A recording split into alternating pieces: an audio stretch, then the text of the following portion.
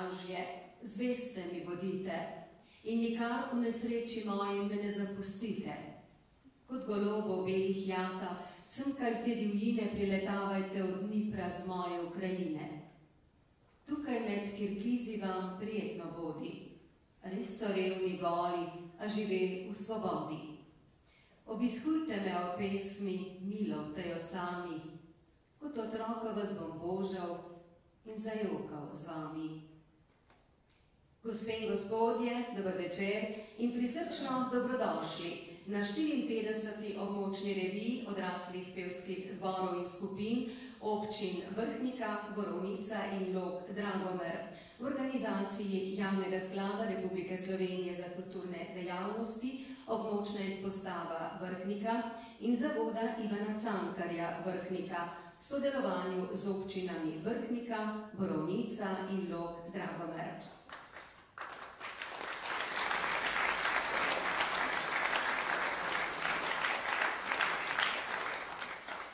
Poseben pozdrav namenjam predstavnikom omenjenih občin, članom sveta območne izpostave Javnega sklada za kulturne dejavnosti Vrhnika, seveda tudi vsem pevcem in njihovim zborovodjem ter strokovnemu spremljevalcu revije Tomažu Pirnatu, vsestranskemu glasbeniku, zborovodji, dirigentu in glasbenemu pedagogu, ki že del časa strokovno spremlja revije pevskih zborov v organizaciji Javnega sklada za kulturne dejavnosti.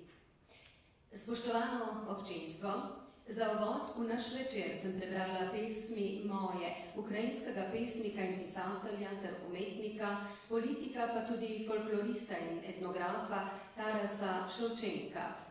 Leta 1840 je bila objavljena v zbirki z naslovom Kobzar, kar pomeni ljudski pevec, goslač, slovenščino pa jo je leta 1976 prevedel pesnik in prevajalec Severin Šavi.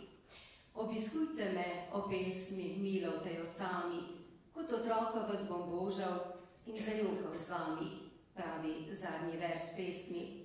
Nas bo nocoj obiskalo veliko pesmi, morda se bo komu, ob kateri tudi orosilo oko. Že prva pesem je takšna, da seže globoko v dušo in srce, ampak pojdimo lepo po vrsti.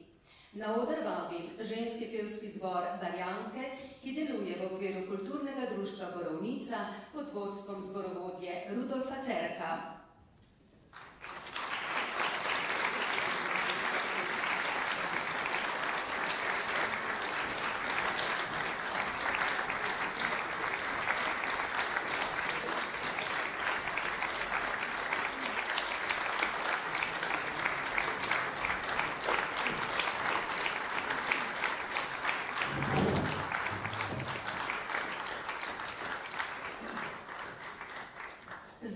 letos praznuje 30. obletnico skupnega petja.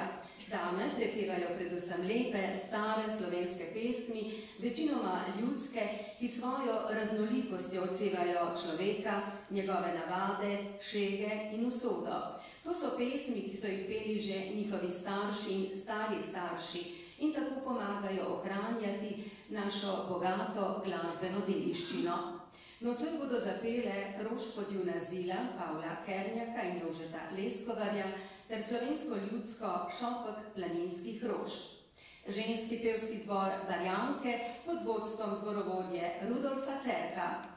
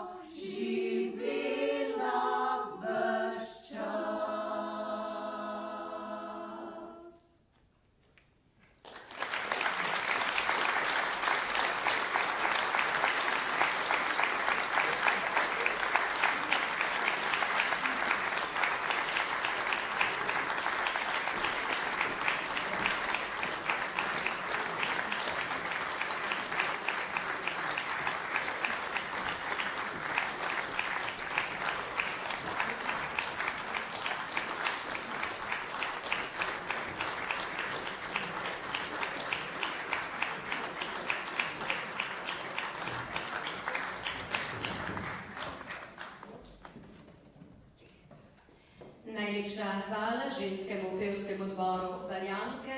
Na odr pa vabim mešani pevski zbor Kut Drenov Grič, Lesno Brdo pod vodstvom Romana Marolta.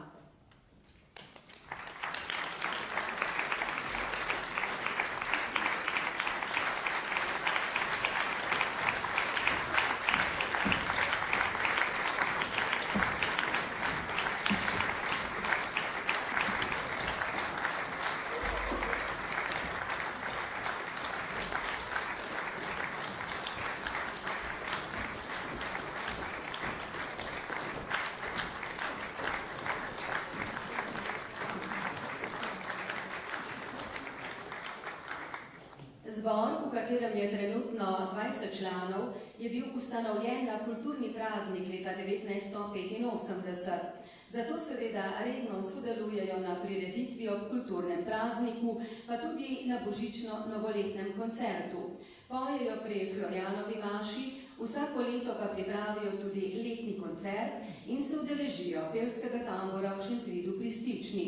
Za nocoj so izbrali Primorsko ljudsko v priredbi Mihajla Rožanca Dobar večer, Slovensko ljudsko priredbi Oskarja Deva Dekle na vrtu Zelenem in Beneško ljudsko priredbi Ubalda Vrabca Oj Božine. Mešani pevski zbor Put Drenov Grič Lesno Brdo pod vodstvom Romana Marolta. Dobar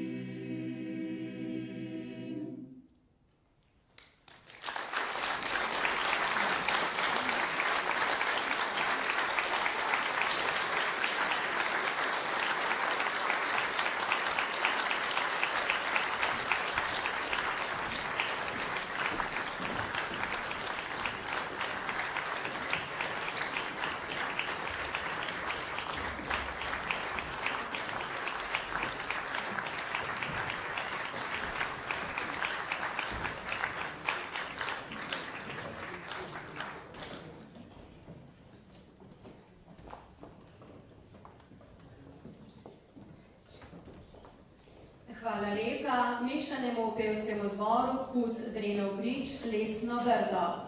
Na vrsti pa je moški pevski zbor Štingalc Borovnica, ki ga vodi zborovodja Aleksandar Miller.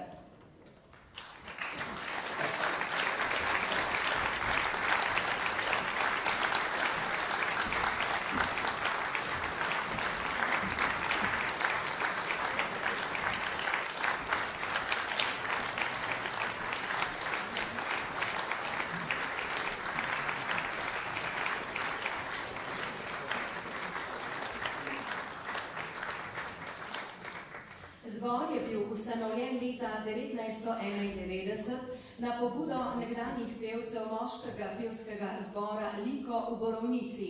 Za štingalce pa jih je krstil tedanji borovniški župnik, gospod Jože Stržaj. Pevce druži veselje do petja, skupna jim je ljubezen do lepih slovenskih narodnih in umetnih pesmi. Uživajo pa tudi v medsebojnem druženju, saj se imajo vedno zelo prijetno.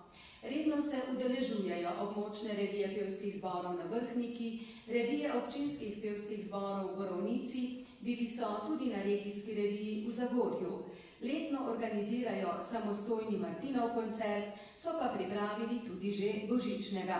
Tako izpolnjujejo svoje poslanstvo, da lepo slovensko pesem širijo med ljudi. Pa ne samo doma, ampak tudi v tujini, saj so gostovali že v Rimu, Dublinu in Berlinu. Ob 20-letnici so izdali dve kaseti in CD ploščo. Prav k malu, 21. maja, pa bodo slavnostnim koncertom v Borovnici praznovali 30-letnico svojega delovanja. Nocoj bodo zapeli pesem Viktorja Mihelčiča in Otona Župančiča Zdravica, dalmatinsko ljudsko pletem Rižu ter Kamila Maška in Blaža Potočnika Mlatiči. Moški pevski zbor Štingelc Borovnica, ki ga vodi zborovodja Aleksandar Miller. težavam,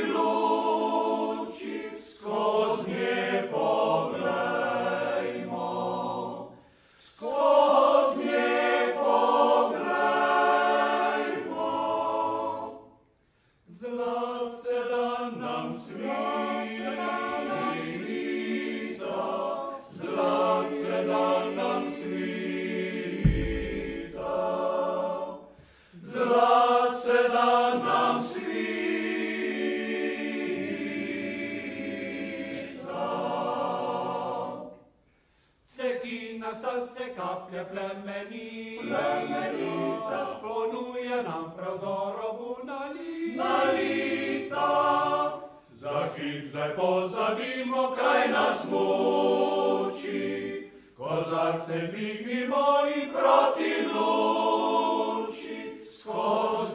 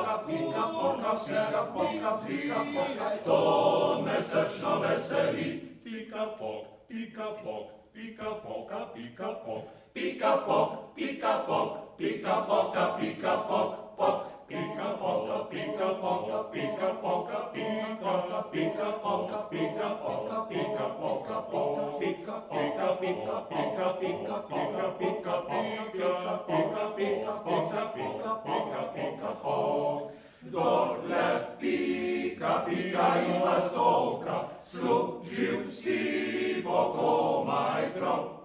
Prav mlad ptič, tako da konaj poka, da od koda skače snop. Pika poka, pika poka, pika poka, pika poka, pika poka, pika poka, pika poka, pik poka.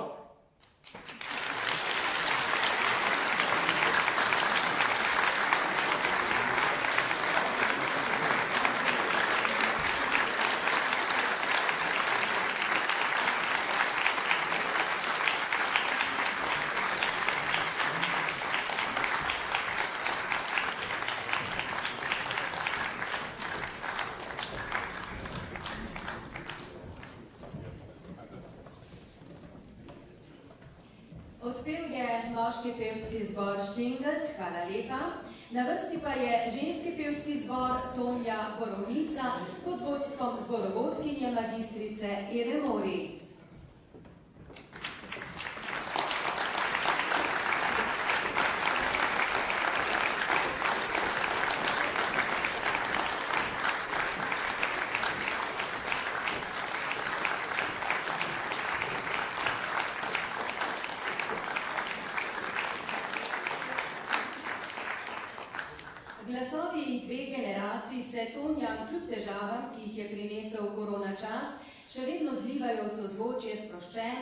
Delovnega vzdušja, nadaljavo ali v živo.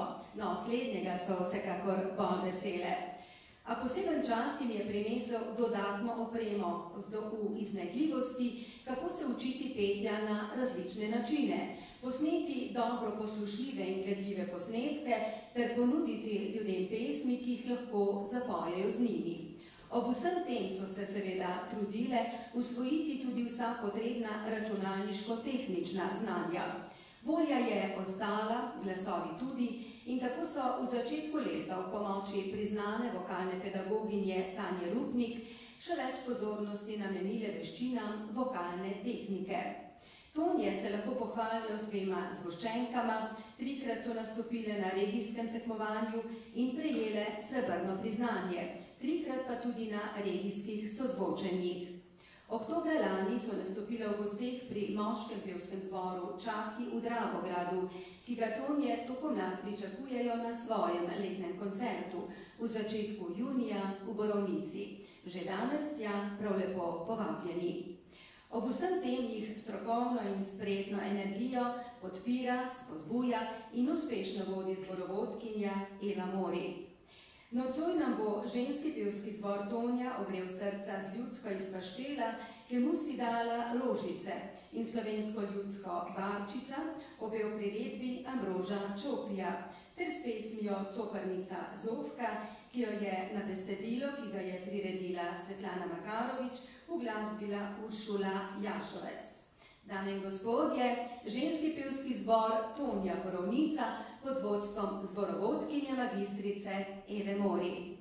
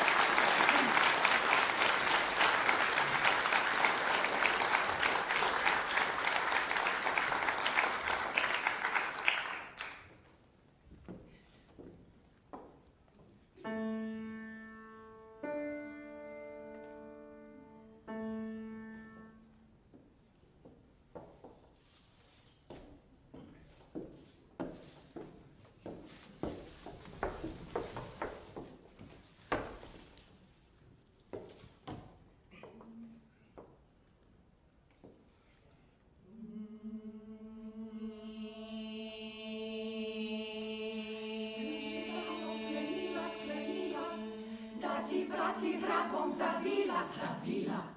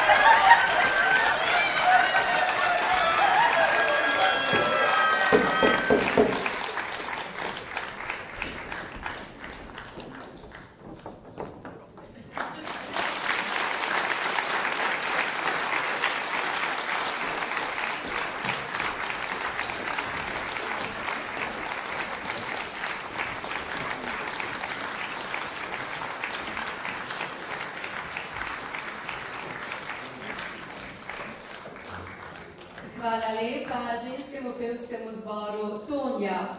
Na odr pa vabimo ktet Raskovec Vrhnika, ki deluje pod umetniškim vodstvom Mitje Drašlerja.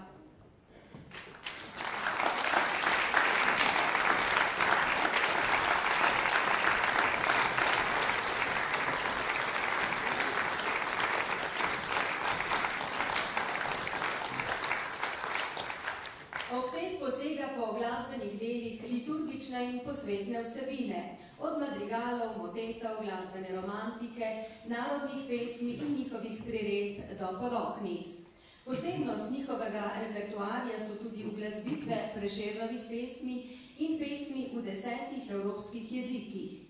Veliko nastopajo doma in v tujini, vsako leto pripravijo božični koncert, redno se udeležujejo območne in regijske revije ter srečanj izbranih oktetov in malih vokalnih skupin.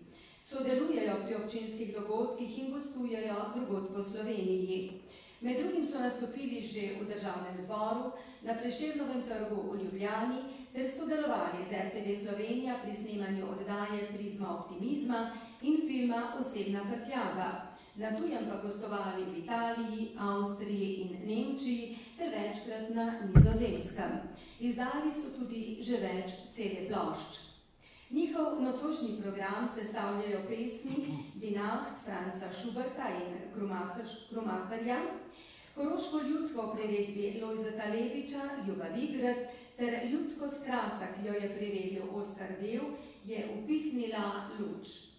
Solista pri pesmi Ljuba Vigrad bosta Miran Križmanc in Janez Lenarčič. Oktet Raskovec Vrhnika pod umetniškim vodstvom Mitje Drašlerja. pod vodstvom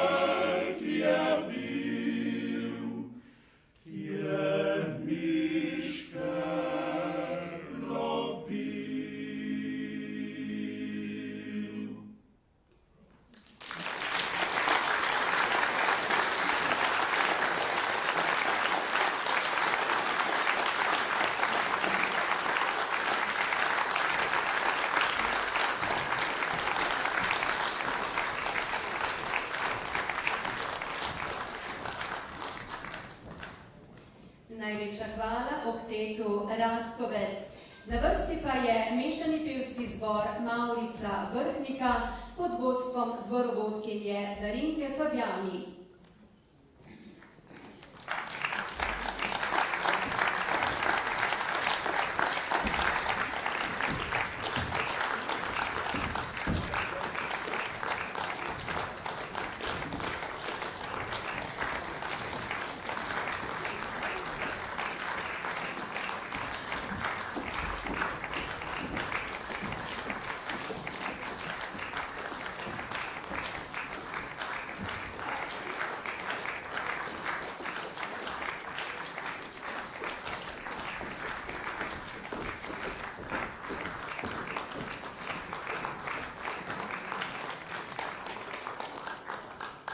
Zbor se kljub zahtevnim časom ustrajno približuje 30-letnici delovanja.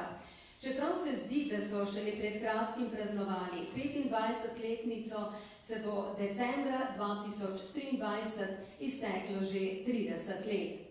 Čas COVID-a je bil za zbor naporen, vendar so z ustrajnostjo in s pomočjo sodobnih pripomočkov aplikacije Zoom tudi ta čas uspešno prestali in izvedli kar nekaj nastopov in koncertov.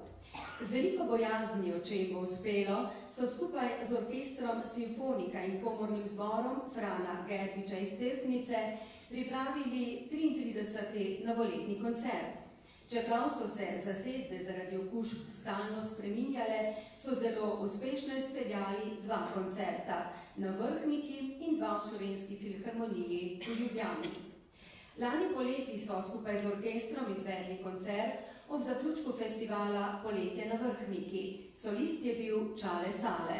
Zapeli so tudi v domovih starejših v Cerknici in Horjulu, na zaključni prireditvi Odlično je, vrhniško je, na spominski slovesnosti na Drči in ob materinskem dnevu ponovno v Horjulu. 4. junija bodo simfoniki in pevko Alinko Godec zapeli na pomladnem gala koncertu, sezono pa zaključili 18. junija v Starem Malnu s koncertom ob tabornem ognju. Mešani pevski zbor Maurica že od začetka vodi zborovodkinja Darinka Fabjani, ki letos praznuje 50 let zborovstva.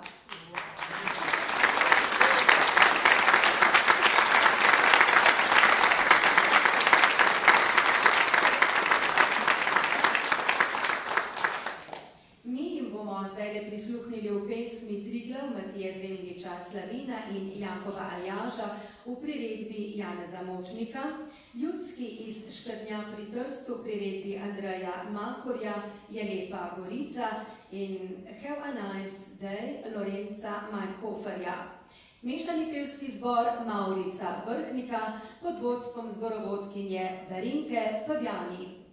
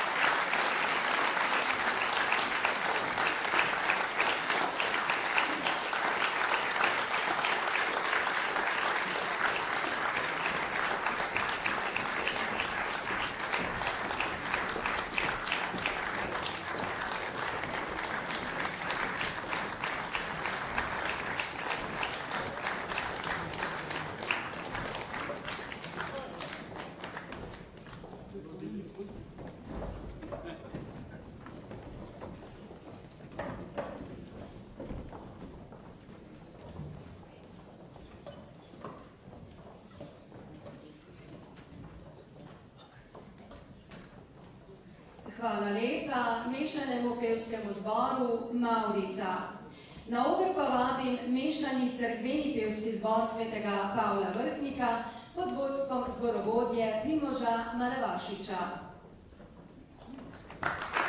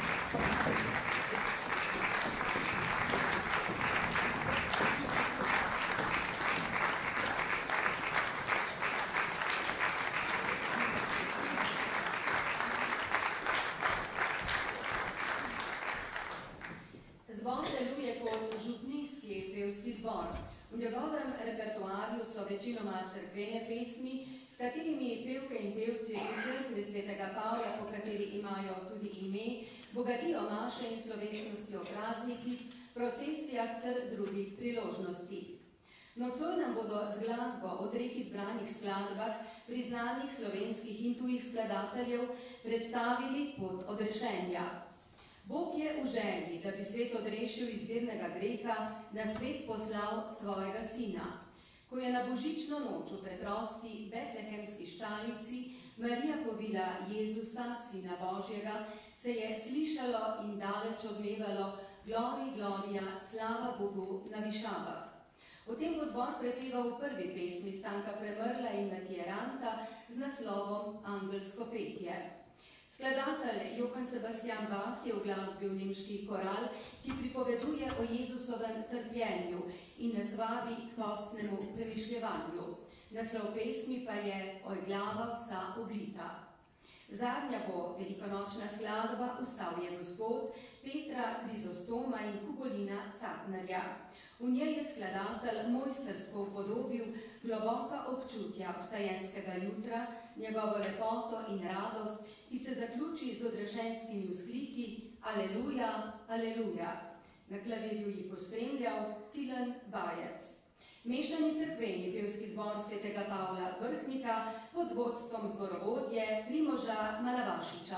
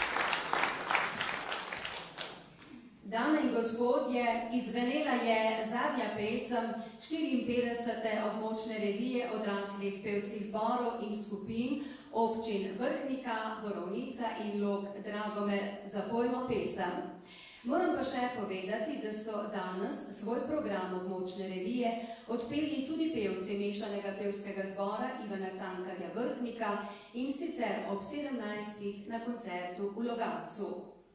Gospa Nataša Bregant Možina, koordinatorka Javnega sklada Republike Slovenije za kulturne dejavnosti območne izpostava Vrhnika, se bo ob koncu večera nastopajočim zborom oziroma skupinam zahvalila spominskim priznanjem ter cvetjem. Pred podelitvijo pa bi z vami rada delila še misel izpod peresa Mance Košir. Bodi povabilo. Kako zaplezati svetlobo pticami in metulji, kako objemati ljudi, ki se gibljajo naokoli kot ti. Bodi povabilo. Ne pridi ga in ne spuščaj besed iz srca, ne trobi tega, kar je bilo darovano tebi. Bodi povabilo. To je luč, ki ti je darovana, da zaplešeš svetlobo vsem na očeh. Tema bo zatrepetala, priletele bodo ptice in tihi metulji. Ljudje se bodo greli in ti vračali na smeh. Nihče ne bo vedel, kaj in zakaj, tudi ti ne. Bodi povabilo. Vsi mi smo bili nocoj povabilo, povabilo k petju in poslušanju glasbe, ki ima, ki ima izjemno moč. Vse kot je zapisal Marin Kogoj, glasba usmerja človeka v globino njegove duše. Zato vam, spoštovani dame in gospodje, želim veliko glasbe. Zdaj pa na oder vabim gospo Natašo Bregant Možina.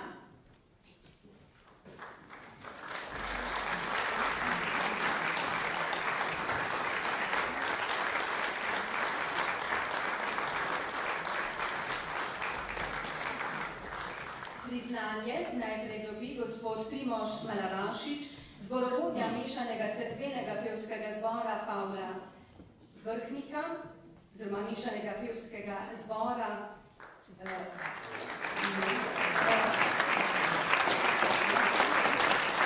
Svetega Pavla Vrhnika, ki je zadnji nastopil in je še na odru ter spremljevalec na klavirju Tilen Bajec.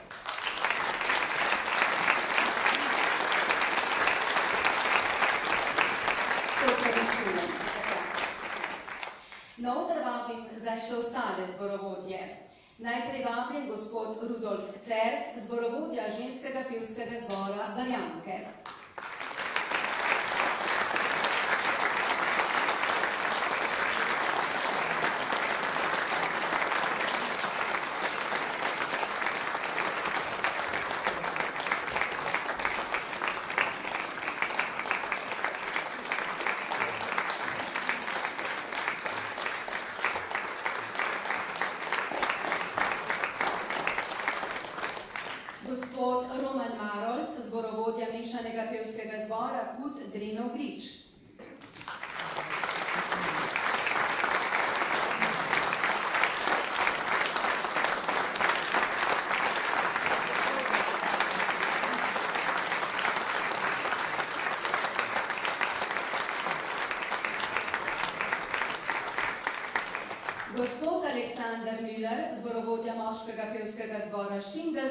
Vrhnika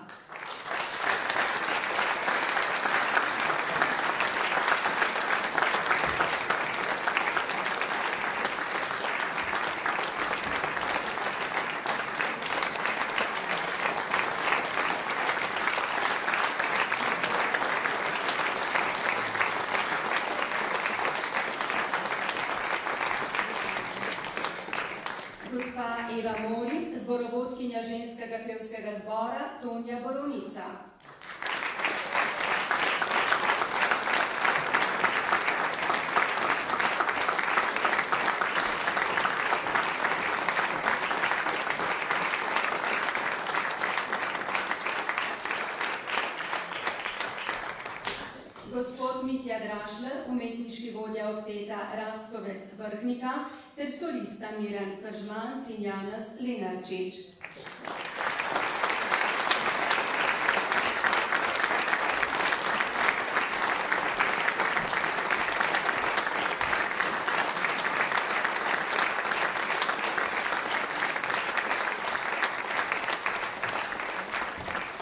ter gospa Darinka Fabjani, zborovodkinja mešanega pevskega zbora Maurica Vrtnika.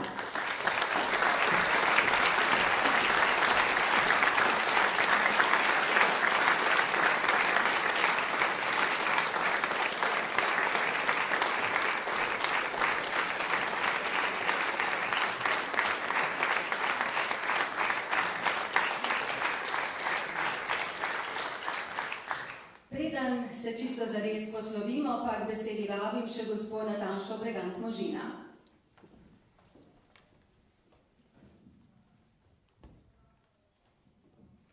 Spoštovani obiskovalci naše današnje revije, dragi pevci in pevke, zborovodkinje in zborovodje, lep je današnji večer.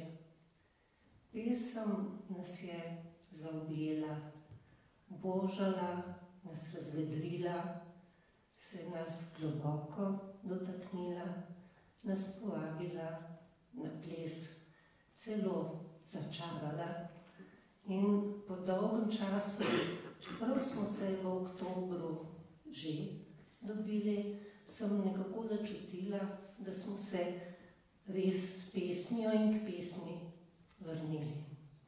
Hvala vam, ponosni ste lahko na se, jaz sem tudi na vas, da ste dvignili to pevsko kondicijo.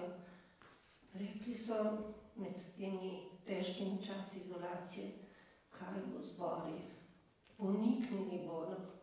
Poglejte, danes je zapelo osem zborov, sedem v naši dvorani, eden v Logacu, zbor Ivana Cankarja.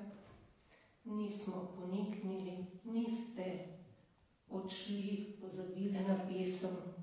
Pesem živi v nas, nas dviguje, nam pomaga, da preživimo čez, težke čase in nas poveže, kadar le lahko. Imejmo jo pri srcu, vračamo se k njej in vračajmo se na tale odr. Še in še, bodite dobro, današnji večer in naprej.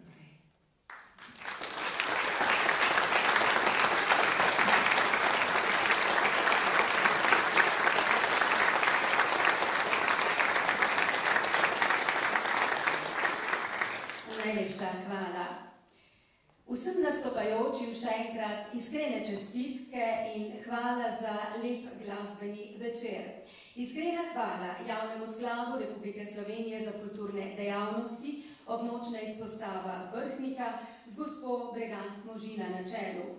Hvala zavodu Ivana Cankarja Vrhnika ter občinam Vrhnika, Borovnica in Lok Dragomer, ki so prireditev podprle. Lahko noč vam goščim in želim čudovit preostanek večera, tudi slanica počan. Thank you.